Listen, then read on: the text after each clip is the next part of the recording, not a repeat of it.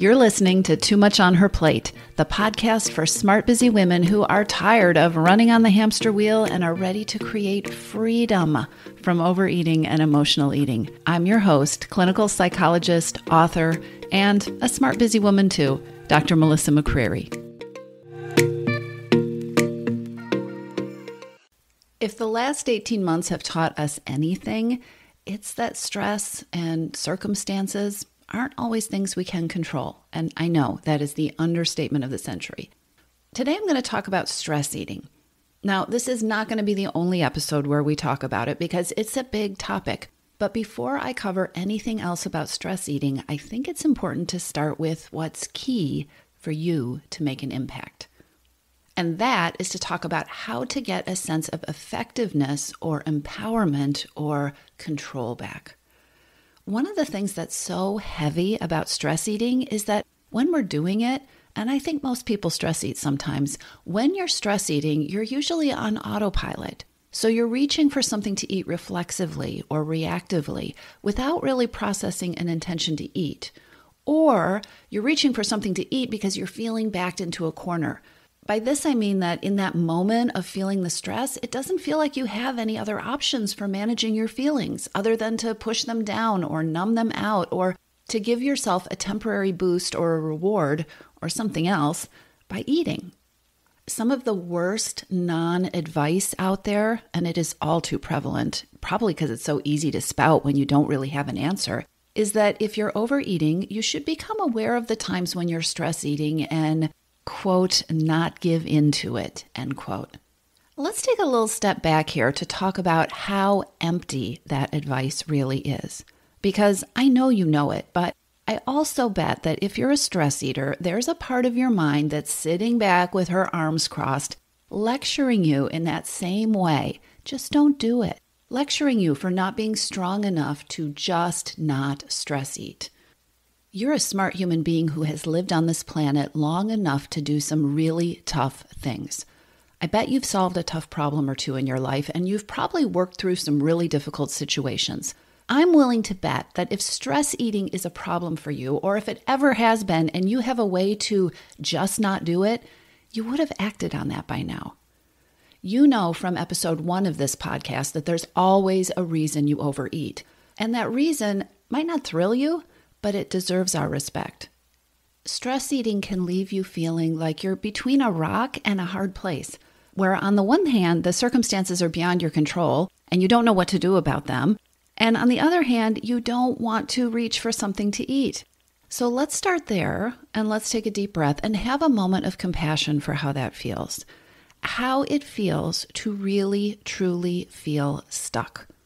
To feel like you don't know any other options other than to reach for something to eat, to be doing something you're frustrated with yourself for doing, but to feel compelled to do it anyway, or to be doing it on autopilot. It takes a toll on you.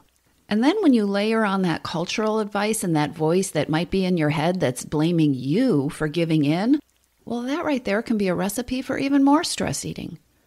So if I'm describing a situation that you know, take a moment to breathe. And even put a hand on your heart and connect with the humanness of who you are.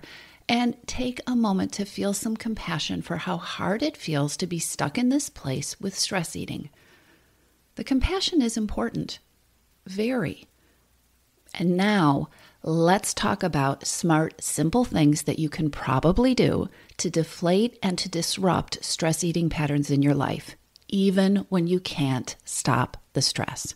And these tips I'm going to cover today, they may seem a little bit strange to you at first because you're going to notice that they have nothing to do with what kind of food to choose or when to eat or how to eat. They have to do with the reasons the stress eating is happening in your life. That may seem very basic, it may seem slightly off topic, but it is exactly perfectly on target if what you want to make are lasting changes. So let's start by giving your brain a break you have enough to think about and to execute on and to remember. So, if you haven't already started doing this, one way that you can absolutely start to take some of the stress and the pressure off is to get your thoughts out of your head and put them on paper. Get something to write with and just do a brain dump. List your worries, put down your to do list, anything that is up there swirling around there in your brain. Take the pressure off of having to remember it or having to find it in there and put it on paper. When you do this, you keep those things from taking up the space inside your head. You keep those things from short circuiting your focus and from constantly swirling. You reduce your stress. And it also gives you a chance to get some perspective, to get some distance between you and your thoughts, which takes you out of a little bit out of reaction mode and helps you to be more in charge. Here's another thing you can do. If you can, do something physical. Research shows us that it's very powerful and it's also really important to work stress out of your body. Physical activity, moving your body, is a key ingredient in completing the cycle with stress. It's so important to move the stress that you've taken into your body to move it out of your body. There's a, actually a fantastic book. It's called Burnout. Um, Burnout, I think it's The Secret to Unlocking the Stress Cycle, and it's by two sisters, Emily and Amelia Nagoski. I highly recommend that book, and I will put the link in the show notes so that you can check that out if this is something that interests you. But just know that it's really important to move your body. So do something intense. Do a workout, not to burn calories, but so that you can discharge the stress. Go for a walk. Dance to loud music. Do something, move it inside your body because moving your body and getting physical brings you back into your body. Here's another thing if your stress is work related or based on a lot of thoughts and thinking that you do or you know mental challenges then you can easily get to feel pretty disconnected from the rest of your body. Doing something physical, moving your body, is going to help you get more grounded. And it's at the same time, you get more grounded in your body and you get more perspective and disconnection from the stuff that's going on in your brain and in your mind, in your head, um, which can be the place where your anxiety is living. When you're breaking free of stress eating habits, it is particularly important to pay attention to those transitions. If you haven't listened to episode six and seven of the podcast, I go into what transitions are, why they're important, how to start paying more attention to those. So check those out and pay attention to the transitions in your day.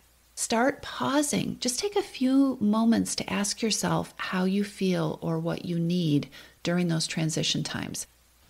Remember that overeating and binging and mindless eating often happen when you're tired, when you're not paying attention and operating on autopilot. So, paying attention, checking in during those transitions can start to make a huge difference with stress eating and the choices that you're making. While we're talking about autopilot and stress eating on autopilot or mindlessly, one thing that can be really effective is to use pausing as a way to interrupt that. And I'm talking about a teeny tiny pause. So, one thing you can do is try taking a teeny tiny 30 second timeout before you do the snacking at your desk or before you do the eating in front of the TV. Use that teeny tiny pause to ask yourself what's going on. Ask yourself whether you're really hungry. Are you really craving food or is it something else? Use your pause to check in and be curious. I've put together a cheat sheet of all of these tips, and I'm going to put the link to it in the show notes so that you can download it and access it easily if you want to review these things. Okay, so if you have nighttime stress eating, especially, then it very well may be something else that you want to be paying attention to. And that something else is probably sleep. If you have a pattern of stress eating, then you want to do everything you can to sleep a minimum of seven to seven and a half hours every single night. It's really important. I mean, lack of sleep causes weight gain, it causes increased appetite, it causes cravings, it makes you less focused and less resilient to the stress that you have. If you're not getting enough sleep, you're going to be more irritable and you're going to be dealing with a host of other things that you just don't need. So, if you are not sleeping seven to seven and a half hours, put this at the top of the list.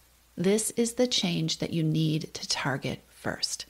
And as you are paying attention to your sleep, make sure you're giving yourself a transition there because too much of the time, stress eating becomes the wind down ritual.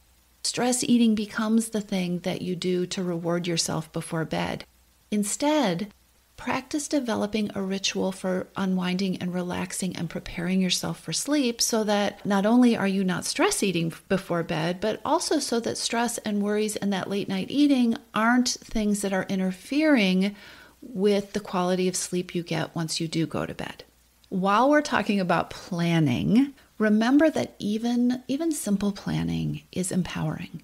Making a plan gives us a sense of power and control, and it can help you take the reins back from stress eating. So, what you want to think about is getting out from behind your life, getting out from those patterns of reacting to things and, and trying to keep up with them, especially in those places where stress eating tends to show up. Do what you can to identify those times and shift from being in reactive mode to being proactive and intentional. And you do that by making plans. So identify the times of day when you tend to stress eat or overeat. And then, to the extent that you can, you want to prioritize your planning for those times. Make a plan, even if it's a very simple one, for how you want to handle those times before you get there. All right, so I know we're talking about stressful times that lead to stress eating, and all of these these strategies and tips I'm giving you are going to be played out within the context of that. And I want to remind you that to the extent that you can, you can shift the balance of power between you and stress eating by something as simple as focusing on increasing the amount of play and fun that you have in your day. I'm not talking about numbing behavior or avoiding the difficult stuff, but focusing on things that really feel good and fun and playful, that nourish that fun loving part of you. It's going to be easier to avoid rewarding yourself with food or feeling like you need something to eat at the end of the day because you deserve a treat or you haven't had anything good all day if you're filling your play and fun tank in other ways. This does not have to be big and overwhelming. While it might be great to take a vacation, it's important to remember that even small, simple actions and choices can make a difference. Make it a point to check in with yourself and ask what you're doing for play and fun. How are you feeding yourself in that particular area of your life? Here's the final thing that I want to suggest today to help break the stress eating patterns in your life. Like the others, this tip is not about monitoring your food or choosing what food you eat or creating a food plan. It's about taking care of yourself so that you're not feeling so tempted to use food as a substitute for the things that you really need. This is how you end stress eating cycles instead of creating a plan where you're always being forced to be in control or take control or have willpower or just not stress eat, right? I want you to think about this for a minute. Stressful times can feel like a constant stream of doing and reacting, right? Doing and reacting to the things that are coming at you and the things that you have to do and the things that you have to deal with and the things that just happened. And it can be really easy to get disconnected in those moments from what's going on with us, from what we are needing or wanting or feeling. And because of that, to end up in an autopilot cycle of using food, of stress eating, to soothe ourselves or to numb ourselves or distract ourselves from what is going on or to give ourselves a reward or a treat because it feels like we're dealing with so much and we don't know what else to do instead.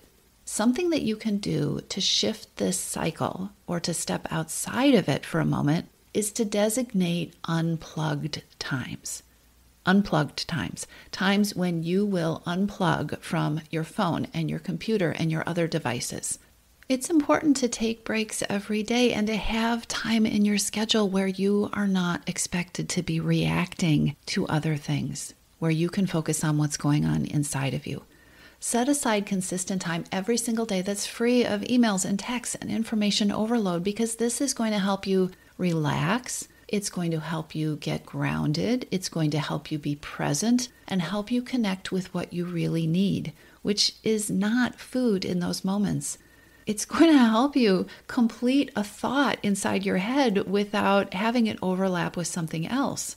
By doing this unplugging time, you're also going to free up some time that is probably more about mindless activity and just kind of, you know, scrolling and numbing out.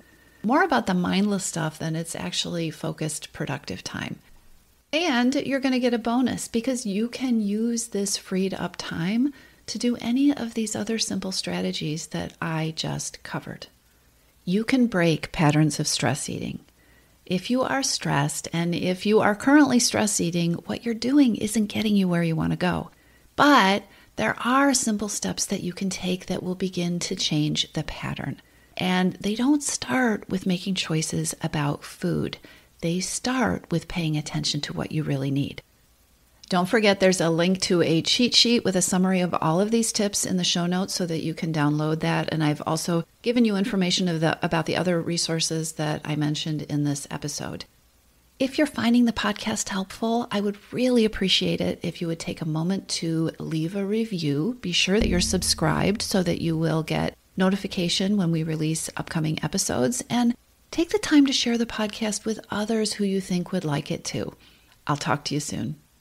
If you like what you've heard, subscribe to the Too Much on Her Plate podcast and take 30 seconds to leave a review. If you're ready to tackle your hidden hungers, then come on over to toomuchonherplate.com. That's 2 T O O muchonherplate.com and take the hidden hungers quiz. It's free, and not only will you be able to pinpoint your best place to start, you'll get the resources you need to take your next best step.